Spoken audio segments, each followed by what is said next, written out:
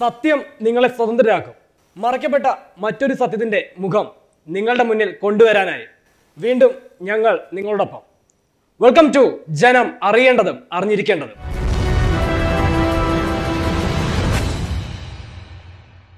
ക്രൈസ്തവ സഭ ഇന്ന് ഏറ്റവും കൂടുതൽ അഭിമുഖീകരിക്കുന്നത് സോഷ്യൽ മീഡിയയിലുള്ള ആക്രമണങ്ങളാണ്.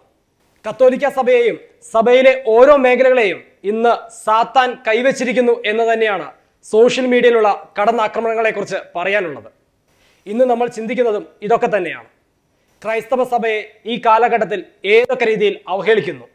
അവയെപ്പറ്റി നമ്മൾ ചിന്തിക്കും ചർച്ച ചെയ്യും. അതിനു മുമ്പ് ചില ദൃശ്യങ്ങളിലേക്ക്. വിശുദ്ധരും വിശുദ്ധ വസ്തുക്കളും ആദരിക്കപ്പെടുന്നില്ലെങ്കിലും അവഹേളിക്കപ്പെടുന്നത് ഇന്ന് വൻതോതിൽ ഉയർന്നുകൊണ്ടിരിക്കുന്നു. മൗനം അവലംബിക്കുന്ന ക്രൈസ്തവ സമൂഹം ഇതൊക്കെ ഒന്ന് കേൾക്കണം. എന്താണ് നമ്മുടെ ലക്ഷ്യം? മദർ തെരേസയെ സെയിന്റ് ആക്കുക. സെയിന്റ് തെരേസ ആക്കുക അതിന് വേണ്ടുന്ന എന്താണ്? രണ്ട് മിറക്കൾ ആ മിറക്കൾ ആര് കൊടുക്കും? മിറക്കൾ കൊടുക്കുന്നവർക്ക് ഇഷ്ടം പോലെ പൈസ കിട്ടും.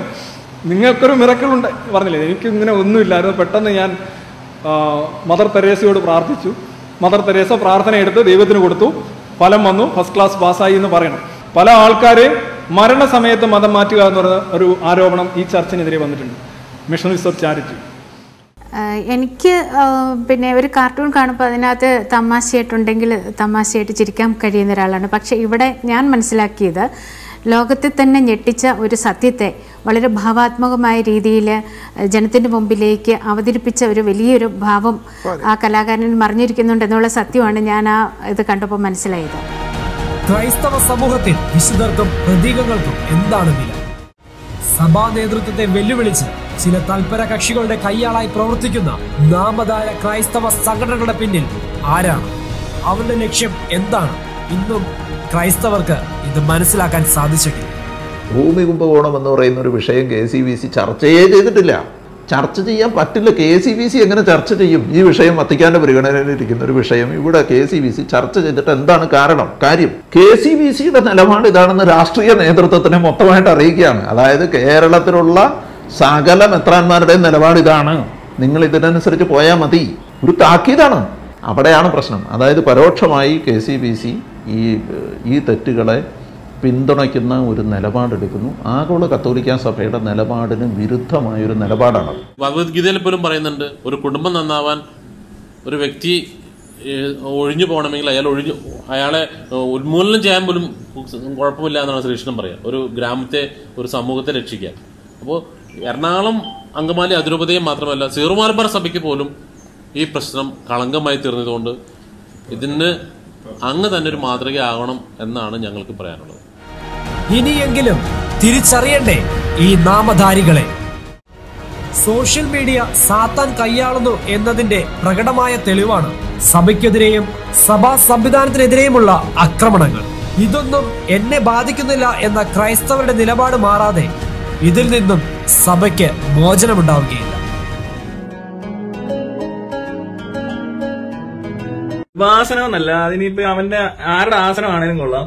അതിന്റെ ഏത് ഡയറക്ടർ ആണെങ്കിലും കൊള്ളാം. പനിയൊക്കെ കൂടിക്കഴിഞ്ഞാൽ അല്ലെങ്കിൽ ഇപ്പോൾ അറ്റാക്ക് വന്നാൽ തീരെ നിവൃത്തിയില്ലെങ്കിൽ പോകുന്ന ആശുപത്രികളിലോട്ടാണ് അല്ലാതെ ഈ നാറികളെ എടുത്തോണ്ട് നേരെ പള്ളി കൊണ്ട് അതിന്റെ അൽത്താറെ കൊണ്ട് വെച്ചിട്ട് ഇന്നാ പിടിച്ചോ കർത്താവേ എന്ന് പറഞ്ഞാൽ കർത്താവിന് പിടിക്കാൻ കിട്ടത്തില്ല. മനസ്സിലായിക്കോണം. അതിപ്പോ ഇവനല്ല ഇവനൊക്കെ കൂടിയ ഇവന്റെ തന്ത എത്രാനും അവന്റെ തന്ത പോപ്പ് വരെ. ആശുപത്രിയിലൊക്കെ തന്നെ പോകും. വയ്യാണ്ടായാലും. പിന്നെ പ്രഷറിന്റെ മരുന്ന് കഴിച്ചിട്ട് വരുന്ന പോപ്പാണല്ലോ പോപ്പ്. ചെകുത്താന്മാരുടെ പാളയത്തിൽ കയറി അടിക്കാൻ ക്രൈസ്തവർ എന്ത് പഠിക്കും. ഈ വിഷയങ്ങളെ കുറിച്ച് എന്താണ് ഇവർക്ക് പറയാനുള്ളതെന്ന് നമുക്ക് കേൾക്കാം. ബഹുമാന ജഡ്ജസ് എനിക്ക് ഇതിനെക്കുറിച്ച് പറയാനുള്ളത് കുറച്ച് നാൾ സ്കൂളുകളിൽ പഠിപ്പിച്ച ഒരു പരിചയത്തിൽ ഈ പ്രശ്നങ്ങളിലെല്ലാം ആത്യന്തികമായ ആ ഒരു എൻഡ് പോയിന്റ് നമ്മളുടെ നമ്മളുടെ വിശ്വാസം ക്ഷയിച്ചിരിക്കുന്നു എന്നത് തന്നെയാണ്. മീഡിയ ആണെങ്കിലും ഏത് രീതിയിലാണെങ്കിലും എവിടെ നിന്നാണെങ്കിലും നമുക്കെതിരെ ആക്രമണം ഉണ്ടായാൽ നമ്മുടെ വിശ്വാസം ദൃഢമാണെങ്കിൽ ഇതിനെയൊക്കെ നമുക്ക് എതിരിടാൻ പറ്റും. ഇപ്പോൾ തന്നെ ഇവിടെ ഒരു ചോദ്യം ചോദിക്കുകയുണ്ടായി. ചെകുത്താന്മാരുടെ പാളയത്തിൽ കയറി ക്രൈസ്തവർ എങ്ങനെ അടിക്കും? നമുക്ക് അടിക്കണമെങ്കിൽ നമ്മുടേതായ ചില കാര്യങ്ങൾ വേണം. ആ അതിലൊന്നാമത്തെ കാര്യമാണ് നമ്മുടെ കർത്താവായ യേശു മിശിക ഏക സത്യദൈവമാണെന്നുള്ള വിശ്വാസം. ഞാൻ എന്റെ കുട്ടികളോട് ചോദിച്ചൊരു ചോദ്യമുണ്ട്. Do you believe that this is the god കുട്ടികൾ പറഞ്ഞു ദൈവമാണ്. ഞാൻ ചോദിച്ചു ഒന്നുകൂടി ചോദിച്ചു ഈ മനുഷ്യൻ ദൈവമാണെന്ന് നിങ്ങൾ വിശ്വസിക്കുന്നുണ്ടോ എന്ന് ചോദിച്ചപ്പോൾ എന്റെ എന്റെ സ്റ്റുഡൻസ് എന്നെ പറഞ്ഞ ദൈവപുത്രനാന്ന് പറഞ്ഞു. ഒന്നും കൂടി ചോദിച്ചപ്പോൾ അതേ കുട്ടികൾ പറഞ്ഞു കാത്തലിക് സ്റ്റുഡൻസ് പറഞ്ഞു അല്ല എന്നാ തോന്നണ എന്ന് പറഞ്ഞു. അപ്പോൾ എനിക്ക് മനസ്സിലായ കാര്യം നമ്മുടെ സൺഡേ സ്കൂളുകളിലും നമ്മുടെ പള്ളികളിലും ബേസിക് ആയിട്ടുള്ള പഠിത്തം യേശുവിനെ കുറിച്ചോ യേശുവിന്റെ ദൈവത്വത്തെക്കുറിച്ചോ ഒന്നും അല്ല. അതുകൊണ്ടാണ് ഇങ്ങനെയൊരു സംഭവം നമ്മൾ നേരിടേണ്ടി വരുന്നതെന്നാണ് എനിക്ക് തോന്നുന്നത്. രണ്ടാമത്തെ കാര്യം ലിബറലിസം ഫ്രാൻസിൽ തുടങ്ങി നമ്മൾ സോഷ്യലിസം പഠിപ്പിക്കുന്നു. അത് ഇന്ത്യയിലെത്തി ഇപ്പോൾ പ്രവർത്തിച്ചു തുടങ്ങിയിട്ടുള്ളൂ. അത് സെക്കുലറിസം ആയിട്ട് നമ്മളെ ആക്രമിച്ചു തുടങ്ങിയിട്ട് നമ്മൾ ഇതുവരെ അറിഞ്ഞിട്ടില്ല അത് എങ്ങനെ ആക്രമിക്കണമെന്ന് അപ്പോൾ ആ ലിബറലിസത്തിന്റെ പലവിധ മുഖങ്ങളാണ് നമ്മളിപ്പോൾ കണ്ടുകൊണ്ടിരിക്കുന്നത്. ഇതിനെതിരെ സഭ പ്രവർത്തിക്കണമെങ്കിൽ അത് നമ്മൾ സോഷ്യൽ മീഡിയയിലൂടെ പ്രവർത്തിക്കണമെങ്കിലും എങ്ങനെ പ്രവർത്തിക്കാനാണെങ്കിലും അതിന് ബേസിക്കായിട്ട് നമുക്ക് ഏക സത്യദൈവ വിശ്വാസം ഉറച്ച് ഉറപ്പിച്ചേ മതിയാവും. അതിൽ നിന്ന് നമ്മൾ പിൻവാങ്ങുമ്പോഴാണ് ഇതിനൊക്കെ നമുക്ക് ആൻസർ കൊടുക്കേണ്ടി വരികയും നമ്മൾ പീഡിപ്പിക്കപ്പെടേണ്ടി വരികയും ചെയ്യുന്നത്. അതിനുവേണ്ടി നമ്മൾ എന്ത് ചെയ്യാൻ പറ്റും? നമുക്ക് എന്ത് ചെയ്യാൻ പറ്റും എന്നാണ് നമ്മളിപ്പോൾ ആലോചിക്കേണ്ടത്. നമ്മുടെ സെലക്ഷൻ പാനലിലേക്ക് പോവുകയാണ്. നിങ്ങളോട് ചോദിക്കാനുള്ളത് ആദ്യം തന്നെ ശ്രീ ലാലി തച്ചിലേക്ക് തന്നെ വരാം. എറണാകുളം അങ്കമാലി അതിരൂപതയെ ബേസ് ചെയ്തിട്ടാണ് ഈ കാലഘട്ടത്തിൽ കൂടുതലും ഫേസ്ബുക്കിലാണെങ്കിലും സോഷ്യൽ മീഡിയയിലാണെങ്കിലും പലവിധ പ്രശ്നങ്ങൾ ഉയർന്നു വന്നിരുന്നത്. അതിൽ ചില ക്രൈസ്തവ നാമധാര സംഘടനകളുമുണ്ട്. നിങ്ങൾ അതിൽ രൂപതയായിട്ട് പ്രവർത്തിക്കുന്നതെന്ന നിലയിൽ ആ സംഘടനകളെ പറ്റി അതായത് A M G S Y S പോലുള്ള സംഘടനകൾ എന്താണ് അവരുടെ ഉദ്ദേശത്തെ ശുദ്ധിയോ അല്ലെങ്കിൽ ആ സംഘടനകളെ പറ്റി എന്താണ് നിങ്ങളുടെ അഭിപ്രായം? ഈ സംഘടനകൾ വഴി കത്തോലിക്ക വിശ്വാസം അല്ലെങ്കിൽ ക്രൈസ്തവീകതയെ ലൗകികമായിട്ട് അവർ ആ ഒരു പെർസ്പെക്റ്റീവിൽ കൊണ്ടുവരാനാണ് ശ്രമിച്ചത്. ഓക്കെ ഞാൻ ചോദ്യം മാറിപ്പോണ്ട. ഞാൻ ചോദിച്ചതാണ് A M D S O S പോലുള്ള സംഘടനകൾ. അതിൽ ശ്രീ ഷൈജു ആനയുടെ ഒരു വീഡിയോ ക്ലിപ്പിംഗ് ആണ് നിങ്ങളിപ്പോൾ ഞാൻ കാണിച്ചത്. ആ വീഡിയോ ക്ലിപ്പിംഗിൽ കൃത്യമായിട്ട് പറയുന്നുണ്ട് കെ സി ബി സിയിലെ മെത്രാൻമാർ അല്ലെങ്കിൽ കെ സി ബി സിയിലുള്ള മെത്രാൻമാർ പരോക്ഷമായോ പ്രത്യക്ഷത്തിലോ ഏതൊക്കെയായി ആലഞ്ചേരി പിതാവിനെ സപ്പോർട്ട് ചെയ്യുന്നു അല്ലെങ്കിൽ ആ രീതിയിലെ കേസുകളിൽ ഇവരുടെ ഒരു കയ്യൊപ്പുണ്ട് എന്നുള്ള രീതിയിലേക്കാണ് സംസാരിക്കുന്നത്. ഈ എ എം ഡിയുടെ ഔദ്യോഗിക വക്താവായി ഒരാൾ സംസാരിക്കുമ്പോൾ ഈ എ എം ഡി എന്ന് പറയുന്നത് എറണാകുളം അങ്കമാലി അതിരൂപതയുടെ ആ സെക്ഷനിൽ വരുന്ന ഒരു സംഘടനയാണോ? സംഘടന എന്ന് പറയാനും പറ്റില്ല. രജിസ്റ്റേർഡ് സംഘടനയല്ലേ? രജിസ്റ്റേർഡ് സംഘടന എന്ന് അവരാക്കി എടുത്തത് എന്തിനാണെന്ന് വെച്ചാൽ അവരുടെ ഉദ്ദേശം തന്നെ എറണാകുളം രൂപതയെ കരിവാരി തേച്ചിട്ട് അവർക്ക് ശക്തമായിട്ടുള്ള ഒരു വെൽ പ്ലാൻഡ് അജണ്ട ഉണ്ടായിരുന്നു എറണാകുളം രൂപതയുടെ ആ ആത്മീയതനെ ചോർത്തി കളഞ്ഞിട്ട് ഒരു ലൗകികതയെ കൊണ്ട് എന്നിട്ട് അവർക്ക് കുറച്ച് ആൾക്കാരെ കൊണ്ട് ഭരിപ്പിക്കാനുള്ളത്. കാരണം ആലഞ്ചേരി പിതാവ് വളരെയധികം നമുക്ക് എല്ലാവർക്കും അറിയാം ആത്മീയനായിരുന്നു. ഞങ്ങൾ തന്നെ ചോദിച്ചിട്ടുണ്ട് പിതാവ് പിതാവ് ചെയ്യാത്തതും പിതാവ് അറിയാത്തതുമായ കാര്യങ്ങൾ എന്തുകൊണ്ട് പിതാവിന് പരസ്യമായിട്ട് വന്ന് പറഞ്ഞുകൂടാ? എന്ന് ഞങ്ങൾ ചോദിച്ചിരുന്നു. അപ്പം പിതാവ് പറഞ്ഞത് ഞാൻ കണ്ടിട്ടുമില്ല മനസ്സിലാക്കാത്ത കാര്യങ്ങളാണ് ഇവർ പറയുന്നത്. പിന്നെ അതിനേക്കാൾ ഉപരി പിതാവിനെ തള്ളക്കോഴി ഇല്ലേ ചിറകും കീഴിലെ തന്റെ കുഞ്ഞുങ്ങളെ എന്താ പറയാ കൂട്ടുകൂടിപ്പിച്ച് ഒരുമിപ്പിച്ച് നിർത്താനുള്ള ആ ഒരു വ്യഗ്രതയുണ്ടായിരുന്നു. ഓക്കെ ഒരു കാര്യം കൂടി. എ എം ഡി എന്ന സംഘടന ഇപ്പോൾ ശ്രീ ലാൽ തച്ചനേക്കാൾ കൂടുതൽ സോഷ്യൽ മീഡിയയും അതേപോലെ വാർത്താ ചാനലുകാരും കയ്യിൽ വെള്ളയെ കൊണ്ട് നടക്കുന്ന ആൾക്കാരാണ്. കാരണം അപ്പോൾ ഞങ്ങൾക്ക് അല്ലെങ്കിൽ പൊതുസമൂഹത്തിന് കാണുമ്പോൾ തോന്നുന്നത് ഇതൊരു എറണാകുളം അങ്കമാലി അതിരൂപതയെ രക്ഷിക്കാനുള്ള ഒരു സംഘടനയായിട്ടാണ് ഇന്ന് നവവാർത്താ ചാനലുകൾ അവരെ പ്രൊട്ടക്ട് ചെയ്ത് നടക്കുന്നത്. സഭയ്ക്ക് വേണ്ടി ഒരു സ്വന്തമായി ഒരു ചാനൽ അല്ലെങ്കിൽ ഒരു ഓൺലൈൻ ചാനലൊക്കെ തുടങ്ങി ഇത്ര ഹാർഡ് വർക്ക് ചെയ്യുമ്പോൾ ഉള്ളിനുള്ളിൽ ഒരു എപ്പോഴെങ്കിലും ഒരു സങ്കടം കാര്യം ഞാൻ ഇത്രയും ചെയ്തിട്ട് ഒരു വാർത്താ ചാനലുകാർ പോലും എന്നെ വിളിച്ചില്ല എന്നുള്ളൊരു അയ്യോ ഒരിക്കലും ഇല്ല. കാരണം നമുക്ക് പറയാനുള്ളത് നമ്മൾ മനുഷ്യരോട് പറഞ്ഞു. മനസ്സിലായി? കേൾക്കേണ്ടവരത് കേൾക്കും. പിന്നെ ഞാൻ എല്ലാം ചാനലിലെ ഒരു വാർത്ത പോലും നുണയാണെന്നോ ഒരു വാർത്ത പോലും തെറ്റായിട്ടോ ഞാൻ വരുത്തിയിട്ടില്ല. നല്ല സ്റ്റഡി നടത്തിയിട്ടും എന്റെ കയ്യിൽ എല്ലാ പ്രൂഫും ചെയ്തത്. ഈ കാലഘട്ടത്തിൽ നമ്മുടെ സോഷ്യൽ മീഡിയയിൽ അല്ലെങ്കിൽ വാർത്താ ചാനൽ നടക്കുന്ന വാർത്തകൾ പ്രത്യേകിച്ച് ക്രൈസ്തവ സഭയെ സംബന്ധിച്ച് അത് അത്രത്തോളം വിശ്വാസികളിൽ സ്വാധീനം ചെലുത്തുന്നുണ്ടോ? അതല്ലെങ്കിൽ നമ്മുടെ കുടുംബങ്ങളെ വെച്ച് നോക്കുവാണെങ്കിൽ നമ്മൾ ഇപ്പോൾ ഇവിടെ ഇരിക്കുന്നവരെല്ലാം പല കുടുംബങ്ങളിൽ ഇത് സീറോ മലബാറും മലങ്കരയും ലാറ്റിൻ ഉൾപ്പെടുന്ന നമ്മുടെ മൂന്ന് റീത്തികളിൽ പെടുന്ന ആൾക്കാരാണ് ഇവിടെ ഇരിക്കുന്നത്. ഈ മൂന്ന് റീത്തിലായാലും നമ്മുടെ കുടുംബങ്ങളിലിരിക്കുമ്പോൾ ഇന്നത്തെ കാലത്ത് നമ്മുടെ ടി വി ചാനലിലായാലും വരുന്ന ക്രൈസ്തവരെ സംബന്ധിച്ചുള്ള വാർത്തകൾ അല്ലെങ്കിൽ ഏത് വാർത്തയും ആയിക്കോട്ടെ എത്രത്തോളം കുടുംബങ്ങളെ സ്വാധീനം ചെലുത്തുന്നുണ്ട് അത് എത്രത്തോളം നമ്മൾക്ക് സത്യാവസ്ഥ തരുന്നുണ്ട്. സോഷ്യൽ മീഡിയയിൽ നമ്മൾ നോക്കുമ്പോൾ ഈ ഷൈജു ആന്റണി കാഞ്ഞുകാരൻ അതുപോലെ അന്ന ഇങ്ങനെയുള്ള ആൾക്കാർ ഇടുന്ന പോസ്റ്റുകൾ സഭയുടെ ചൈതന്യത്തിന് ചോർത്തി കളയുന്ന പോസ്റ്റുകളാണ്. സാധാരണഗതിയിലെ ആൾക്കാർ ഇത്തരം പോസ്റ്റുകൾ കാണുമ്പോൾ സോഷ്യൽ മീഡിയയിൽ വരുന്നത് കാണുമ്പോൾ പകുതി ഫിഫ്റ്റി ഫിഫ്റ്റി എടുക്കുകയുള്ളൂ പകുതി വിശ്വസിക്കാൻ പകുതി വിശ്വസിക്കാൻ പറ്റില്ല. പക്ഷേ ഇവരെ മറ്റ് സ്ഥലങ്ങളിൽ ഈ പറഞ്ഞ വ്യക്തികളെ കാണുന്നത് പുരോഹിതരുടെ കൂടെയാണ് നമ്മുടെ തന്നെ പല ഉയർന്ന പൊസിഷനിലിരിക്കുന്ന പുരോഹിതരുടെയും മെത്രാന്മാരുടെയും കൂടെ ഇവരെ കാണുമ്പോൾ നമ്മുടെ തന്നെ ജനങ്ങൾ രൂപതയിലുള്ള ജനങ്ങൾ ഇടവകക്കാർ പാവപ്പെട്ട മനുഷ്യരെ ഇവർ പറയുന്നത് വിശ്വസിച്ചു പോവാം. അതായത് സോഷ്യൽ മീഡിയയിൽ വരുന്നത് കൊണ്ട് മാത്രമല്ല ഈ സോഷ്യൽ മീഡിയയിൽ നുണ പ്രചരിപ്പിക്കുന്നവർക്ക് നമ്മുടെ സഭയുടെ നേതൃത്വത്തിലുള്ള ആൾക്കാർ തന്നെ പിന്തുണ കൊടുക്കുന്നതാണ് അവരെ സത്യമാണെന്ന് തെറ്റിദ്ധരിപ്പിക്കപ്പെടും താങ്കൾ എറണാകുളം അങ്കമാലി അതിരൂപതക്കാരനാണ്. അതെ. ഈ ഷൈജു ആന്റണി എന്ന് പറഞ്ഞ ആളും റിജു കാഞ്ഞുകാരനും അന്നാഷിബിയും ഒക്കെ അതേ രൂപതക്കാർ തന്നെയാണ്. അതെ. അവർക്കപ്പോ അത്രയും സപ്പോർട്ട് അവിടെ നിന്ന് ഇല്ലാതെ വിശ്വാസികളുടെ ഇടയിലാണെങ്കിലും ശരി വൈദികരുടെ വിശ്വാസികളുടെ ഇടയിൽ അവരുടെ സപ്പോർട്ട് കിട്ടുന്നത് വിശ്വാസികളുടെ ഇടയിലുള്ള പുരോഹിതരുടെ സപ്പോർട്ട് കൊണ്ടാണ്. പുരോഹിതരുടെ മാത്രമല്ല വിശ്വാസികളുടെ ഒരു സപ്പോർട്ട് ഇല്ലാതെ ഒരു വ്യക്തികൾക്ക് ഇത്ര രീതിയിൽ അവിടെ ഇങ്ങനെ ഉയർന്നു നിൽക്കാൻ സാധിക്കും. വിശ്വാസികൾക്ക് ആശയം പങ്കുവയ്ക്കുന്നത് ഞായറാഴ്ച പ്രസംഗത്തിലൂടെയാണ് ഞായറാഴ്ച പ്രസംഗം വരുമ്പോ പ്രസംഗത്തിൽ അച്ഛൻ പറയുന്നത് എന്താണെന്നാണ് ഈ കഴിഞ്ഞിടയ്ക്ക് അവിടെ ഇടവകയിൽ പത്രം കത്തിക്കുന്ന സോഷ്യൽ മീഡിയയിൽ മീഡിയ ഷൈജു ആന്റണിയുടെ ഇടവകയിൽ തന്നെ ആ പുള്ളിക്കാരന്റെ കുറിച്ചുള്ള പോസ്റ്റർ വെച്ചിട്ട് പുള്ളിക്കാരനെതിരെ ഇടവക്കാരെല്ലാരും കൂടെ ഒരുമിച്ച് കൂടി. അത് മാത്രമല്ല ഏകം എന്നുള്ള അവരൊരു എന്താ പറയാ ആ ശക്തമായിട്ട് വിമതമായിട്ടുള്ള എല്ലാ വ്യാജ വാർത്തകളും വെച്ചിട്ട് ഒരു പത്രം തുടങ്ങിയായിരുന്നു. അതെല്ലാരും കൂടെ ഞായറാഴ്ച അതിന്റെ കൂട്ടിയിട്ടിട്ട് ഇട്ടിട്ട് അത് എന്തുകൊണ്ടാണ് ഇത്രയും താമസിച്ചത്? ഇത്രയും സാവകാശം ഇങ്ങനെയുള്ള കാര്യങ്ങളിൽ കൊടുക്കാൻ കാരണം ആ ഒരു തെറ്റ് നമ്മുടെ ഭാഗത്തുനിന്ന് വന്നു. നമ്മുടെ സഭ നമ്മുടെ സഭ ചെയ്യുന്നത് എന്താണെന്ന് വെച്ചിട്ടുണ്ടെങ്കിൽ പണ്ട് വചനം പ്രഘോഷണം വൈദികർ മാത്രം ഏറ്റെടുത്ത് നടത്തിക്കൊണ്ടിരുന്നപ്പോഴാണ് ശോഷിച്ചു പോയത് പിന്നീട് അത് അൽമാരിലേക്ക് ഇറങ്ങി കരിസ്മാറ്റിക് നവോത്ഥാനം വന്നപ്പോൾ അത് വീണ്ടും ജീവൻ വെച്ചു. അതുപോലെ തന്നെ ഇന്ന് നമ്മൾ സോഷ്യൽ മീഡിയക്കെതിരെ ഉള്ള പ്രവർത്തനം ഒരു ഒരു മീഡിയ കമ്മീഷൻ ഒതുക്കി ഒതുക്കി നിർത്താതെ അതിന് തയ്യാറുള്ള ചെറുപ്പക്കാരെ ഏൽപ്പിച്ചു കൊടുക്കാൻ സഭാ നേതൃത്വം റെഡിയാവണം അങ്ങനെ റെഡിയായാൽ മാത്രമേ അതിന് നമ്മൾ വേണ്ട സപ്പോർട്ട് എല്ലാം ചെയ്തു കൊടുക്കണം. അല്ലാതെ ഞങ്ങൾ അച്ഛന്മാർ ചെയ്തോളാം. ആരും കളിയാക്കുന്നതല്ല. പുരോഹിതന്മാർ ചെയ്തോളാം അല്ലെങ്കിൽ ഞങ്ങൾ മാത്രം ചെയ്തോളാം അല്ലെങ്കിൽ ഞങ്ങൾക്ക് അറിയണം എന്ത് ചെയ്യണം ഞങ്ങളുടെ അനുഗ്രഹത്തോടെ ചെയ്യാവുള്ളൂ എന്നൊക്കെ വാശി പിടിച്ചാൽ നമുക്ക് സമയത്തിനനുസരിച്ച് ചെയ്യാൻ പറ്റത്തില്ല. ഒരു രൂപതയ്ക്കോ പുരോഹിതനോ ചെയ്യാൻ പറ്റാത്ത പല പല കാര്യങ്ങളും ഞങ്ങൾ അൽമായർക്ക് ചെയ്യാൻ പറ്റും. ഉറപ്പായിട്ടും ഞങ്ങൾക്ക് ചെയ്യാൻ പറ്റും. പക്ഷേ നമുക്ക് എന്നാലും അത് രൂപതയിലോ വൈദികരോട് ചേർന്ന് ചെയ്യുമ്പോൾ ഞങ്ങൾക്ക് ചേർന്ന് ചെയ്യാൻ മനസ്സിലാത്തതുകൊണ്ടല്ല ചേർന്ന് ചെയ്യുമ്പോൾ ഉണ്ടാകുന്ന കാലതാമസം മറ്റു പല കാരണം മറ്റു പല സംഭവങ്ങൾക്കും കാരണമാവും. അതുകൊണ്ട് നമ്മൾ ഇമ്മീഡിയറ്റ് ആയിട്ട് ആക്ഷൻ എടുക്കുമ്പോൾ ചിലപ്പോൾ എന്താ ചില തെറ്റുകളൊക്കെ പറ്റുമായിരിക്കും. അതിനെ ചൂണ്ടിക്കാണിക്കാതെ അല്ലെങ്കിൽ എന്താ പറയണ്ടത് കറക്റ്റ് ചെയ്തുകൊണ്ട് പോകാനുള്ള മനസ്സിലൊക്കെ പുരോഹിതരുടെ ഭാഗത്തു നിന്നും സഭാ നേതൃത്വത്തിന്റെ ഭാഗത്തു ഉണ്ടാകുമ്പോൾ അൽമായർക്ക് കൂടുതൽ പ്രവർത്തിക്കാൻ പറ്റും. ഡിയർ ജഡ്ജസ് നിങ്ങളോടാണ് ഒരു കാര്യം ചോദിക്കാനുള്ളത്. എ എം ഡി പോലുള്ള ഇങ്ങനെ പല സംഘടനകൾ ഈ കാലഘട്ടത്ത് ഉയർന്നു വരുന്നുണ്ട്. S O S save our sisters അതേപോലെ എ എം ഡി സഭയ്ക്ക് വേണ്ടി നിലകൊള്ളുന്ന സംഘടനകളാണോ? അല്ലെങ്കിൽ ഇങ്ങനത്തെ സംഘടനകളോട് സഭയുടെ നിലപാട് എന്താണ്?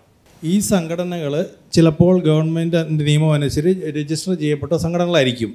പക്ഷേ അത് സഭയെ പ്രതിനിധീകരിക്കുന്നില്ല. ഞാൻ കാണുന്നത് അതിൽ അംഗങ്ങളായിരിക്കുന്ന കുറച്ച് പേരുടെ കാഴ്ചപ്പാടുകൾ അവർ അടിച്ചേൽപ്പിച്ച് പറയുന്നു. പിന്നെ നമ്മൾ കഴിഞ്ഞൊരു എപ്പിസോഡിൽ നമ്മൾ സൂചിപ്പിച്ചുണ്ടായി ഈ മാധ്യമങ്ങൾ സഭയ്ക്കെതിരെ സംഘടിതമായ നീക്കം നടത്തുന്നുണ്ട്. ഈ സംഘടിതമായ നീക്കം നടക്കുന്നത് കൊണ്ട് ഈ വക പ്രസ്ഥാനങ്ങളെ അവരുപയോഗിക്കുന്നു. അതുപയോഗിക്കുന്ന സഭയോടുള്ള എതിർപ്പ് മാത്രമല്ല അവർക്ക് നമ്മൾ മറ്റൊരു എപ്പിസോഡിൽ പറഞ്ഞ പോലെ അവരുടെ റേറ്റിംഗ് കൂട്ടാനും കൂടെ. കാരണം ഇതൊരു ഇംഗ്ലീഷിൽ പറഞ്ഞാൽ സെൻസേഷണൽ ഇഷ്യൂ ആണ് ഈ കാര്യങ്ങൾ സഭയെക്കുറിച്ച് താറടിക്കുന്ന കേൾക്കാൻ ആഗ്രഹിക്കുന്ന കുറേ ആളുകളുണ്ട്. അപ്പോൾ അതുകൊണ്ട് ഈ സംഘടനകൾ സഭയുടെ ഔദ്യോഗികമെന്നോ സഭയുടെ അൽമായരെ പ്രതിനിധീകരിക്കുന്നോ എന്ന് നമ്മൾ ഒരിക്കലും കരുതാൻ പാടില്ല. അത് അതിലെ മെമ്പേഴ്സിന്റെ മാത്രം താല്പര്യങ്ങൾ പറയുന്നു. അങ്ങനെ വരുമ്പോൾ ഈ സംഘടനകൾ അൽമായരുടെ ഉന്നതിക്ക് വേണ്ടി സഭയുടെ ഒരു ഉയർച്ചയ്ക്ക് വേണ്ടി പ്രവർത്തിക്കുന്ന അല്ലാത്ത സംഘടനകളാണെങ്കിൽ അവയെ ഫ്രീമേസൺ സംഘടനകളായിട്ട് സഭാ നേതൃത്വം അത് പ്രഖ്യാപിച്ച് അതിനെതിരായിട്ടുള്ള നടപടികൾ നേതൃത്വം കൊടുക്കണം നടപടി പുസ്തകത്തിൽ നമ്മൾ നോക്കുമ്പോൾ ഒരു ഭാഗമുണ്ട്. ശിഷ്യന്മാരെ ശിഷ്യന്മാർ യേശുവിനെ പ്രസംഗിക്കാൻ വന്നപ്പോൾ അതിനെക്കുറിച്ച് പ്രതിഷേധിക്കാൻ കൂടെ യഹൂദന്മാരുടെ സമ്മേളനത്തിൽ എന്താ ഒരു സംസാരം വന്നേ ഇത് ദൈവത്തിന്റേതാണെങ്കിൽ അത് പിടിച്ചു നിൽക്കും. ഇല്ലെങ്കിൽ നശിച്ചു പൊയ്ക്കോളും എന്നാണ് പറഞ്ഞത്. അപ്പോൾ ഇത് നമ്മളെ സംബന്ധിച്ചിടത്തോളം ഇത് സഭയ്ക്ക് വേണ്ടിയാണെങ്കിൽ ഇവർ അവർ വഴി സഭയ്ക്ക് വളർച്ച ഉണ്ടാകും. പക്ഷേ ഞാനത് കരുതുന്നില്ല. എന്നെ സംബന്ധിച്ചിടത്തോളം ഇത് കുറച്ച് പേരുടെ കാഴ്ചപ്പാടുകൾ അവതരിപ്പിക്കുന്നു എന്ന് മാത്രം. താങ്കളോടുള്ള ഒരു ചോദ്യം. ഇപ്പോൾ നിലവിൽ A M D S O S പോലുള്ള വിവിധ സംഘടനകൾ ക്രൈസ്തവരെ സപ്പോർട്ട് ചെയ്യാൻ അല്ലെങ്കിൽ ക്രൈസ്തവ സഭയെ സംബന്ധിച്ച് അതിന് വളർച്ചയ്ക്ക് വേണ്ടിയിട്ടുള്ള സംഘടനകൾ എന്ന നിലയിൽ നിലനിൽക്കുന്നുണ്ട്. അതേപോലെ തന്നെ അതിന് ബദല അല്ലെങ്കിൽ അതേപോലെ ക്രൈസ്തവരെ സപ്പോർട്ട് ചെയ്യുന്ന ഒരു ടീമിന്റെ അല്ലെങ്കിൽ എറണാകുളം അങ്കമാലി വിഷയം അല്ലാതെ തന്നെ ക്രൈസ്തവരെ സംബന്ധിച്ച് പൊതു കാര്യങ്ങൾ ചർച്ച ചെയ്യാൻ ഇത്തരത്തിലുള്ള ഒരു സംഘടനകൾ അനിവാര്യമാണെന്ന് തോന്നുന്നുണ്ടോ. നിലവിൽ ഏതെങ്കിലും ഒരു സംഘടനയിൽ താങ്കൾ അംഗമാണോ? ഇല്ല ബേസിക്കലി നമ്മൾ മനസ്സിലാക്കേണ്ട കാര്യം എന്ന് പറഞ്ഞാൽ നമ്മൾ വിശ്വാസ സമൂഹത്തെ പ്രധാനമായിട്ട് മൂന്നായിട്ട് തരംതിരിക്കാം. ഒന്ന് കട്ടവിശ്വാസികൾ. ഈ കട്ടവിശ്വാസികൾ പ്രത്യേകം എന്ന് പറഞ്ഞാൽ എന്തെങ്കിലും പ്രശ്നം ഉണ്ടായി കഴിഞ്ഞാൽ അവർക്ക് ഒരു കുഴപ്പമില്ല. അവരെപ്പോഴും സഭയുടെ കൂടെയാണ്. രണ്ടാമതെന്ന് പറഞ്ഞു കഴിഞ്ഞാൽ ക്രിസ്ത്യൻ നാമധാരായിട്ടുള്ള ചില ആൾക്കാർ. അവർക്കെന്ന് പറഞ്ഞാൽ സഭ തെറ്റാണ് സഭ വൃത്തികേടാണ് മാലിന്യ കൂമ്പാരമാണെന്ന രീതിയിൽ പ്രചരണം നടത്തുന്ന ആൾക്കാർ. മൂന്നാമത്തെ ആൾക്കാരാണ് ഏറ്റവും കൂടുതൽ അയ്യോ പാവികൾ എന്നാണ് ഞാൻ അവരെ വിളിക്കുന്നത്. ഇപ്പോൾ എക്സാമ്പിൾ എന്ന് പറയുകയാണെങ്കിൽ ഇപ്പോൾ നേരത്തെ നമ്മൾ പറഞ്ഞു ഈ ഏഹ്, കാര്യം. അദ്ദേഹം ഒരു ബിഷപ്പാണെന്ന രീതിയിൽ പ്രചരണം നടത്തിയപ്പോൾ ഒന്നാം പ്രമാണ ലംഘനമാണ്. അയ്യോ സഭ പോയി വിശ്വാസം പോയി എന്ന് പറഞ്ഞ് ആ ഒരു തെറ്റിദ്ധാരണ ഓൾറെഡി പാസ് ചെയ്ത് പോയി കഴിഞ്ഞു പക്ഷെ ആ തെറ്റിദ്ധാരണയെ തിരുത്താൻ വേണ്ടി ഞാനോ അല്ലെങ്കിൽ എന്നെ പോലുള്ള ഏതെങ്കിലും ഒരു സോഷ്യൽ മീഡിയ ആക്ടിവിറ്റിസ്റ്റ് ഒരു സ്റ്റെപ്പ് എടുക്കുമ്പോൾ അത് എത്തുന്നില്ല റീച്ച് എത്തുന്നില്ല. നമ്മൾ ഇവിടുന്ന് തിരുത്തൽ പോകുമ്പോൾ അത് കാണുന്ന കുറച്ച് പേര് പറയും എന്താണ്? അയ്യോ ഓ ഇപ്പം ഞങ്ങൾക്ക് മനസ്സിലായി. കാരണം എന്നെ പേഴ്സണലി അത് കണ്ടിട്ട് വിളിച്ച് പറഞ്ഞൊരു യൂത്ത് ഉണ്ട്. ഞങ്ങൾ വിചാരിച്ച് അവൻ പറഞ്ഞതെന്ന് വെച്ചാൽ ഞാൻ അയാൾ അയാൾ പറഞ്ഞു വെച്ചാൽ ആ ഒരു യൂത്ത് പറഞ്ഞു വെച്ചാൽ ഞാൻ മനസ്സിൽ പിതാക്കന്മാരെ ഞാൻ ധാരാളം എന്റെ മനസ്സിൽ ഞാൻ തെറി പറഞ്ഞു. കാരണം എന്ന് പറഞ്ഞാൽ ഞങ്ങളെ ഇങ്ങനെ പള്ളി വിടുകയും പള്ളിയിൽ ഞങ്ങൾക്ക് നല്ല കാര്യങ്ങൾ പഠിപ്പിക്കുകയും ചെയ്യുകയും അവരിങ്ങനെ അമ്പലത്തിൽ പോകുന്നു. ക്ലിന്റൻ നിന്റെ വീഡിയോ കണ്ടുകൊണ്ട് അല്ലെങ്കിൽ നിന്റെ എഴുത്ത് കണ്ടുകൊണ്ട് മാത്രമാണ് ഞങ്ങൾക്ക് മനസ്സിലായത്. അതിലെ ഒരു ബിഷപ്പ് അല്ലെന്ന്. അപ്പോൾ ഇതിൽ മനസ്സിലാക്കേണ്ട കാര്യം എന്ന് പറയുന്നത് ഇങ്ങനെ ഒരു സംഘടന അത് ഞാൻ പേഴ്സണലി പറയുകയാണെങ്കിൽ കുറച്ച് വാട്സപ്പ് ഗ്രൂപ്പുകളുണ്ട്. പ്രത്യക്ഷത്തിലില്ലെങ്കിലും പരോക്ഷമായിട്ട് ഇവർ ചെയ്യുന്നുണ്ട്. പക്ഷേ രൂപതകളിൽ അല്ലെങ്കിൽ വൈദികർ എന്നെ പോലുള്ള സോഷ്യൽ മീഡിയ ആക്ടിവിസ്റ്റുകളായിട്ടുള്ള യൂത്തിനെ വളർത്തിയെടുത്ത് കൊണ്ടുവരേണ്ടത് അവരുടെ കടമയാണ്. പക്ഷെ പലപ്പോഴും അത് നടക്കുന്നില്ല. അങ്ങനെ വളർത്തേണ്ടത് സഭയുടെ ആവിഷ്കതയാണ്. കാരണം ഇവർ ഇരിക്കുന്നവർക്ക് പറയാനൊരു ലിമിറ്റുണ്ട്. ഇവർക്ക് പറയാനൊരു ലിമിറ്റുണ്ട്. ഞാൻ ഒരിക്കൽ ഒരു ഒരു ഒരു പറഞ്ഞൊരു കാര്യം ഞാൻ വൈദികനോട് ചുമ്മാ പറഞ്ഞു അച്ഛാ ഞാൻ സെമിനാറിലോട്ട് വരാം. അപ്പൊ എന്നോട് പറഞ്ഞു എന്റെ പൊന്നു മോനെ ഞാൻ പറയുന്നതിന്റെ ഡബിളിന്റെ ഡബിളിന്റെ ഡബിളാണ് നീ എനിക്ക് വേണ്ടി ശബ്ദിക്കുന്നത്. നിന്റെ വിളി ഏതാണെന്ന് നീ നോക്കുക. നീ നോക്കി നീ ചെയ്യുന്ന പ്രവൃത്തിയിൽ ഞാൻ സംതൃപ്തനാണ്. എന്താണ് ക്രൈസ്തവ സഭയെ ക്രൈസ്തവ സഭയുടെ സംഘടനകളെ കുറിച്ച് കാനോയിലെ എന്താണ് പറയുന്നത് ഫാദർ ആളോ ഈ പതിമൂന്നാമത്തെ ടൈറ്റിൽ ക്രൈസ്തവ സംഘടനകൾ എന്ന് പറഞ്ഞുകൊണ്ടുള്ള ടൈറ്റിലാണ് ഈ കോഡിലെ. അതിൽ കത്തോലിക്ക സംഘടന എന്ന് പേരുപയോഗിക്കണമെങ്കിൽ സ ഒന്നുകിൽ സഭയുടെ ഔദ്യോഗിക അധികാരികൾ സ്ഥാപിച്ചതായിരിക്കണം. അല്ലെങ്കിൽ അവർ ഔദ്യോഗികമായി കാത്തലിക് അസോസിയേഷൻ എന്ന പേര് പറഞ്ഞ് അംഗീകരിച്ചതാകണം. അല്ലാതെ ഒരു സംഘടനയും കാത്തലിക് എന്ന് ഉപയോഗിക്കാൻ അവകാശമില്ല അവർ കത്തോലിക്ക സഭയുടെ അംഗീകൃതമായ സംഘടനയല്ല ബാക്കിയുള്ളതൊക്കെ സ്വകാര്യ സംഘടനകളാണ്. സ്വകാര്യ സംഘടനകളായിട്ട് വ്യക്തികൾക്ക് ഒരുമിച്ച് കൂടി അവരേതെങ്കിലും സഭയിൽ തന്നെയുള്ള പർപ്പസ് ചാരിറ്റി അല്ല വിശ്വാസം അങ്ങനെയൊക്കെയുള്ള കാര്യങ്ങൾക്ക് വേണ്ടി അവർക്ക് സംഘടനകൾ ഉപകരിക്കാൻ ആർക്ക് തടയാനൊന്നും പറ്റില്ല. പക്ഷെ അതൊന്നും സഭയുടെ ഔദ്യോഗിക സംഘടനകളല്ല. അവർക്ക് ഒന്നും ഔദ്യോഗികമായ സഭ കാത്തലിക് അസോസിയേഷൻ എന്ന് ഉപയോഗിക്കാനുള്ള അവകാശമോ? അങ്ങനെ സഭയിൽ അംഗീകാരം യാതൊരു അവകാശവും കടമകളും അവർക്ക് സഭയുടെ ഔദ്യോഗിക സംഘടനകൾ അല്ല എന്ന് സഭയ്ക്ക് അല്ലെ സഭയുടെ ഒരു അംഗീകാരം കിട്ടാത്ത സംഘടനകളെ ആ പേരിൽ മാധ്യമങ്ങൾ അവരുടെ ചാനൽ ചർച്ചയ്ക്ക് വിളിച്ചുകൊണ്ട് ഇരുത്തുന്നത് തികച്ചും സഭയോട് മാധ്യമങ്ങൾ കാണിക്കുന്ന ഒരു നെഗറ്റീവ് ആംഗിൾ ആണെന്ന് പറഞ്ഞാൽ അത് നിഷേധിക്കാൻ പറ്റും തീർച്ചയായിട്ടും. ഒരു കാരണവശാലും സഭയുടേത് എന്ന് പറഞ്ഞുകൊണ്ട് സഭ ഇതുപോലെ ഔദ്യോഗികമായി അംഗീകരിച്ച ഒരു പ്രസ്ഥാനമല്ലെങ്കിൽ അതിന്റെ ഒരു പ്രതിനിധിയെ കൊണ്ടിരുത്താൻ പാടില്ല. സഭയുടെ വക്താവ് എന്ന് സഭ അംഗീകരിച്ചു കൊടുത്തിട്ടുള്ള വ്യക്തികളല്ലാത്തവരെ സഭയുടെ വക്താവാണ് എന്ന് പറഞ്ഞുകൊണ്ട് കൊണ്ടിരുത്തി ചർച്ച ചെയ്യിപ്പിക്കുന്നത് ശരിയല്ല. അത് മാധ്യമങ്ങൾ ജനത്തെ തെറ്റിദ്ധരിപ്പിച്ച് ഇന്ന് ചെയ്തുകൊണ്ടിരിപ്പുണ്ട്. സഭയുടെ അവകാശത്തിന് മുകളിലുള്ള കടന്നുകയറ്റമാണ്. ബഹുമാനപ്പെട്ട അച്ഛ മാധ്യമങ്ങൾ ജനങ്ങളെ തെറ്റിദ്ധരിപ്പിക്കുക എന്ന് പറയുമ്പോൾ ഒരു കാര്യം എനിക്ക് ചോദിക്കാനുള്ളത്. ഇത് ഔദ്യോഗികമായ സംഘടനകൾ അല്ലെങ്കിൽ ഇവ ഔദ്യോഗികമായ സംഘടനകളല്ല വെറും സ്വകാര്യ സംഘടനകളാണെന്ന് പറയേണ്ട സഭ അത് പറയാതിരിക്കുന്നത് മൂലം ജനങ്ങളെ തെറ്റിദ്ധരിപ്പിക്കുകയല്ലേ? തീർച്ചയായിട്ടും സഭയ്ക്ക് അങ്ങനെ സംശയം ഉണ്ടാക്കാവുന്ന സാഹചര്യത്തിൽ അത് പ്രഖ്യാപിക്കാവുന്നതാണ്. ഒരു സംഘടന കാത്തലിക് എന്ന് തന്നെ ഉപയോഗിച്ചുകൊണ്ട് വേറൊരു സംഘടന ഞാനൊക്കെയുള്ള പ്രദേശത്തുണ്ട്. ഇതുപോലുള്ള സമാനമായ പ്രവർത്തനങ്ങളുമായിട്ട് മുന്നോട്ട് പോകുന്ന ഒരു സംഘടനയുണ്ട്. അവർ ഇത് തെറ്റിദ്ധരിപ്പിക്കുന്ന വിധത്തിലാണ്. സിറാജ് പറഞ്ഞപ്പോൾ അംഗീകാരമുള്ള സംഘടന എന്ന് പറഞ്ഞു. അംഗീകാരമുള്ള സംഘടന എന്ന് പറയുന്നത് അവർ സർക്കാരിന്റെ മുമ്പിൽ രജിസ്റ്റർ ചെയ്തിരിക്കുന്നു എന്നുള്ളതാണ്. അങ്ങനെയുള്ള രജിസ്ട്രേഷൻ ഉണ്ട് എന്നതുകൊണ്ട് കത്തോലിക്ക സഭയിൽ അംഗീകാരമുള്ള സംഘടനയല്ല അത്. അവർ സഭയ്ക്ക് പുറത്തുള്ള ഒരു സ്വകാര്യ പ്രസ്ഥാനമാണ്. അങ്ങനെ എത്ര പ്രസ്ഥാനം ഉണ്ടാകാം? പക്ഷെ അതൊന്നും സഭയ്ക്കുള്ളിൽ അംഗീകൃത സംഘടന ഓക്കെ ഞാൻ സിസ്റ്റർ അഡ്വക്കേറ്റ് സിസ്റ്ററിലേക്ക് പോവുകയാണ്. സിസ്റ്ററിനോട് ഒരു കാര്യം ചോദിക്കാനുള്ളത് ഇതാണ്. അതായത് ഇപ്പോൾ S O S save our sisters സിസ്റ്ററിന് തോന്നുന്നുണ്ടോ? ഇങ്ങനെയുള്ള ഒരു സംഘടന കൊണ്ട് സിസ്റ്ററിന്റെ ലൈഫ് സേഫ് ആവുന്നു ഒരിക്കലും ഇല്ല. അപ്പോൾ നിങ്ങൾക്ക് വേണ്ടിയിട്ടെന്നുള്ള രീതിയിലാണ് അതായത് പ്രത്യേകിച്ച് കേരളത്തിലെ കന്യാസ്ത്രീകളെ സംരക്ഷിക്കുക എന്നുള്ളതാണ് എസ് ഒ എസിന്റെ പ്രധാന ലക്ഷ്യം എന്നുള്ളതാണ് അവർ ആർത്തവാക്യമായി അവർ കൊണ്ടു നടക്കുന്നത്. പക്ഷേ അത് എത്രത്തോളമാണ്? നിങ്ങൾ ആ ആംഗിളിൽ കാണുമ്പോൾ. ഇത് നിങ്ങൾക്ക് വേണ്ടിയിട്ടാണെന്നും കൂടിയാണ് അവരുടെ വാദം. ഈ വാദത്തോടെ നിങ്ങൾ എന്താണ് തിരിച്ചു പറയാനുള്ളത്? നിങ്ങൾക്ക് അങ്ങനെയുള്ളൊരു സംഘടന ആവശ്യമുണ്ടോ? ആവശ്യമുണ്ടെങ്കിൽ നിങ്ങൾക്ക് അതിനുള്ള സൗകര്യം നിങ്ങളുടെ കോൺഗ്രേഷൻ അതായത് ഇന്ത്യയിലുള്ള ആ ഒരു സെക്ഷനിൽ അത് കൈകാര്യം ചെയ്യാൻ പാടില്ലേ? എസ് ഒ എസ് എന്ന് പറയുന്ന ഒരു സംഘടനയുടെ ഒരു ആവശ്യം ഒരു സന്യാസ സമൂഹത്തിനും ഇന്നത്തെ കാലത്ത് ആവശ്യമില്ലാത്തൊരു സംഭവമാണ്. കാരണം സന്യ ഓരോ സന്യാസ സമൂഹവും രൂപീകരിക്കപ്പെട്ടത് പരിശുദ്ധാത്മാവിനാൽ നയിക്കപ്പെടുന്ന വ്യക്തികളിലൂടെയാണ്. അതിന് ഒരു സംഘടനയ്ക്ക് ഒരു സന്യാസിനിയെ പ്രൊട്ടക്ട് ചെയ്യാൻ പറ്റുമെന്ന് ഞാൻ വിശ്വസിക്കുന്നില്ല. അത് ദൈവം സംരക്ഷിക്കുന്നെങ്കിൽ സംരക്ഷിക്കപ്പെടും എന്നാണ് എന്റെ വിശ്വാസം. നമ്മൾ വരാം. ഒരു കാര്യം കൂടി സിസ്റ്റർ ലിസിയോടൊന്ന് ചോദിക്കുകയാണ്. കാരണം നമ്മുടെ ഇവിടെ ഇരിക്കുന്നതിൽ ഞാൻ അറിഞ്ഞത് വെച്ച് സിസ്റ്റർ ഓൾമോസ്റ്റ് ഇന്ത്യയിൽ തന്നെ അല്ലേ? പ്രതിനിധികളിൽ ഒരാൾ ഏഷ്യയിലെ സിസ്റ്റേഴ്സിന്റെ ഡിപ്പാർട്ട്മെന്റ് തന്നെ വലിയൊരു സ്ഥാനത്തിരിക്കുന്ന സിസ്റ്റർ തന്നെയാണ്. അല്ലെങ്കിൽ ആ ഒരു ടീമിലുള്ള സിസ്റ്ററാണ്. എന്താണ് സിസ്റ്റർ നിങ്ങളെ സംരക്ഷിക്കാൻ എറണാകുളത്തുള്ള ഒരു സംഘടന ആവശ്യമാണ്. ഒരു നാലഞ്ച് പേര് കൂടിയുള്ള ഒരു സംഘടന വേണമെന്നാണ്. അതോ നിങ്ങളെ രക്ഷിക്കേണ്ടത് സത്യം പറഞ്ഞാൽ നിങ്ങൾ ക്രിസ്തുവിന്റെ മണവാട്ടികളാണ്. അപ്പോൾ ക്രിസ്തു തന്നെയാണ് നിങ്ങളുടെ നാഥനും രക്ഷകനും. അത് ഞങ്ങൾക്കറിയാം. എങ്കിലും ചില സംഘടനകൾ ഉയർന്നു വരുമ്പോൾ ഞങ്ങളുടെ തന്നെ ദിശ മാറിപ്പോകുന്നു. ഞങ്ങളുടെ സന്യസ്തർ അവരുടെ കൈകളിൽ മാത്രമാണോ സുരക്ഷിതർ. കത്തോലിക്ക സഭയിൽ നിങ്ങൾ സുരക്ഷിതരല്ല എന്നുള്ളൊരു ചിത്രം സാധാരണ വിശ്വാസികൾക്കിടയിൽ ഈ കാലഘട്ടത്തിൽ ചെറുതായിട്ടെങ്കിലും വ്യാപിക്കുന്നുണ്ട്. കാര്യം പലപ്പോഴും S O S A M T പോലുള്ളവർ പറയുന്നത് പല കോൺവെന്റിന്റെ ഉള്ളിലും സിസ്റ്റേഴ്സ് വിങ്ങിമുട്ടി നിൽക്കുക എന്നാണ്. ഒരു ചാൻസ് കിട്ടിയാൽ അത് നമുക്കറിയാം മഠത്തിൽ നിന്നും മാറിപ്പോയിട്ടുള്ള പലവരും പറഞ്ഞിട്ടുള്ള കാര്യമാണ്. ഒരു ചാൻസ് കിട്ടിയാൽ ഇറങ്ങിപ്പോരാൻ കാത്തിരിക്കുന്ന അനേകം സിസ്റ്റേഴ്സ് ഉണ്ടെന്നൊക്കെ. ഇങ്ങനെ സിസ്റ്റേഴ്സിന്റെ കാര്യങ്ങൾ പരിഹരിക്കാനും കാര്യങ്ങളുമായിട്ട് നമ്മുടെ സഭയുടെ ഉള്ളിൽ തന്നെ അല്ലെങ്കിൽ നിങ്ങളുടെ കോൺഗ്രേഷന്റെ അതുമായി ബന്ധപ്പെട്ട് തന്നെ സംവിധാനങ്ങളില്ലേ അത്തരത്തിലുള്ളപ്പോൾ ഇത്തരത്തിലെ ക്രൈസ്തവ സംഘടനകളോട് സിസ്റ്ററും സിസ്റ്ററും പ്രതിനിധീകരിക്കുന്ന നിങ്ങളുടെ സന്യസ്തരായിട്ടുള്ള ആ ഒരു സന്യാസ സഭകളുടെയൊക്കെ ഒരു നിലപാട് എന്താണ് ഇത്തരം സംഘടനകളോട്. ഞങ്ങൾ വളരെ വ്യക്തമായിട്ട് സി ആർ ഐ മീറ്റിംഗ് വഴി ഞങ്ങളത് പറഞ്ഞതാണ്. ഒരു എസ് ഒ എസ് ഞങ്ങൾക്ക് വേണ്ട. ഞങ്ങളെ സംരക്ഷിക്കുന്നത് ദൈവം കഴിഞ്ഞ് ഞങ്ങൾ തന്നെയാണ് സംരക്ഷിക്കേണ്ടത്. അത് കഴിഞ്ഞ് ഞങ്ങൾക്ക് ഞങ്ങളുടെ മേജർ സുപ്പീരിയേഴ്സ് ഉണ്ട്. അവർ ഞങ്ങളെ നോക്കിക്കോളും. ഈ ഒരു സംഘടനയ്ക്ക് എന്താണ് ചെയ്യാൻ പറ്റുന്നത് ഞങ്ങൾക്ക് വേണ്ടിയിട്ട്? ഒന്നും ചെയ്യാൻ പറ്റുന്നില്ല. അവർ അവരുടെ തന്നെ വെസ്റ്റഡ് ഇൻട്രസ്റ്റ് വെച്ചുകൊണ്ട് അവർ അതും ഇതുമൊക്കെ പറയുന്നതേ ഉള്ളൂ.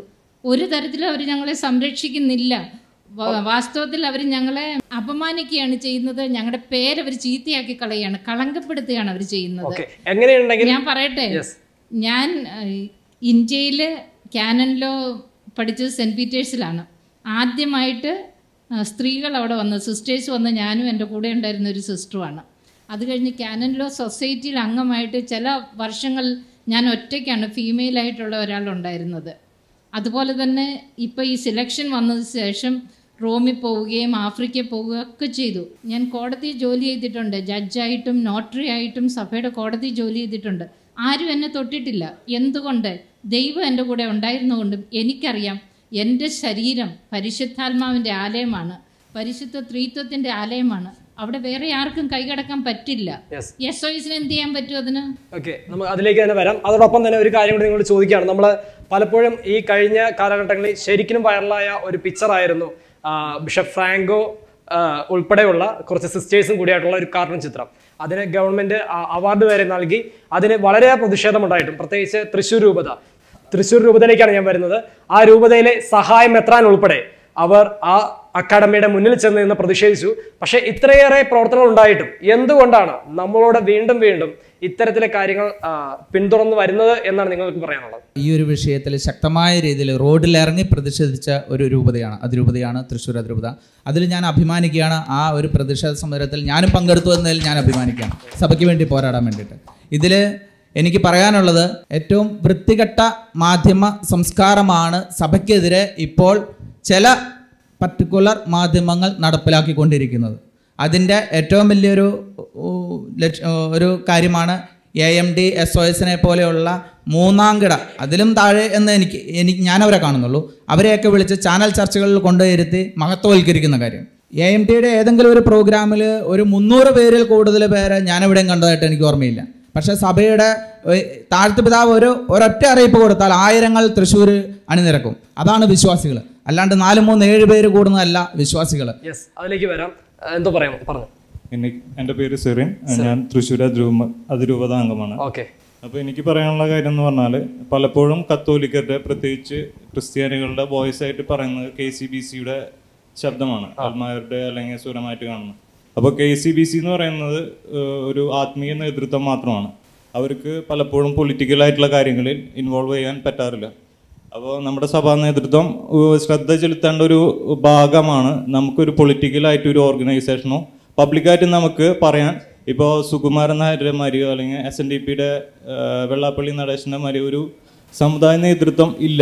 നമ്മുടെ പലപ്പോഴും അൽമാരുടെ ആയാലും അതുമാതിരി തന്നെ വൈദികരുടെ ആവശ്യങ്ങൾ പലപ്പോഴും ആവശ്യപ്പെടുന്നത് കെ സി ബി സി ആണ്. അപ്പോൾ അതൊരു മതത്തിന്റെ അല്ലെങ്കിൽ ഒരു ആത്മീയ നേതൃത്വം ആയതുകൊണ്ട് തന്നെ അത് പലപ്പോഴും ആക്രമിക്കപ്പെടുന്നു. അത് മാധ്യമങ്ങൾ വഴിയായാലും മറ്റു സമുദായങ്ങൾ വഴിയായാലും നമ്മൾ ടാർഗറ്റ് ചെയ്യപ്പെടുന്ന ചെയ്യപ്പെടുന്നുണ്ട്. അപ്പോൾ നമ്മൾ ശ്രദ്ധിക്കേണ്ടത് നമുക്കൊരു പൊളിറ്റിക്കൽ ആയിട്ടുള്ളൊരു നേതൃത്വം. ഇന്നത്തെ കാലത്ത് വളർത്തിക്കൊണ്ടുവരുന്നതിനെ കുറിച്ചിട്ട് നമ്മൾ ചിന്തിക്കേണ്ടിയിരിക്കുന്ന ഒന്നാണ് ഓക്കെ നമുക്ക് അതിലേക്ക് വരാം. അതിന് മുമ്പ് സാർ സാറിന്റെ അടുത്തൊരു ചോദ്യമാണ്. നമ്മുടെ ഇപ്പോൾ സാർ ഒരു കുടുംബജീവിതം നയിക്കുന്ന വ്യക്തിയും കൂടിയാണ്. അപ്പോൾ സാറിനെ സംബന്ധിച്ച് സാറിന്റെ ആ ജനറേഷൻ ഉണ്ടായിരുന്ന വിശ്വാസത്തിൽ നിന്നും ഇന്നത്തെ തലമുറയ്ക്ക് വിശ്വാസരാഹിത്യം എന്നത് വളരെ വലുതായിട്ട് കടന്ന് അവരെ പിടിച്ചിരിക്കുന്ന ഒരു വസ്തുതയാണ്. അന്നത്തെ കാലത്തിൽ ഒത്തിരി വിശ്വാസം ഉണ്ടായിരുന്നു വൈദികരോടാണെങ്കിലും സന്യസ്തരോടാണെങ്കിലും ഒത്തിരി ആത്മാർത്ഥതയും അവരോട് കാണുമ്പോൾ തന്നെ വലിയൊരു വിധേയത്വവും ഒക്കെ നമ്മുടെ ഒരു തലമുറകൾക്കുണ്ടായിരുന്നു. ഇന്നത്തെ കാലത്തേക്ക് വരുവാണെങ്കിൽ ഒരു വൈദികനെയോ സിസ്റ്ററിനെയോ കണ്ടാൽ പോലും ഇന്നത്തെ യുവതലമുറ അവർക്ക് കൊടുക്കേണ്ട റെസ്പെക്റ്റ് കൊടുക്കാറില്ല. അത് കാരണം തന്നെ ചിലപ്പോൾ ഇന്നത്തെ സോഷ്യൽ മീഡിയ അത്രയേറെ യുവജനങ്ങളെ ബാധിച്ചു എന്ന് വേണം കണക്കാക്കാൻ.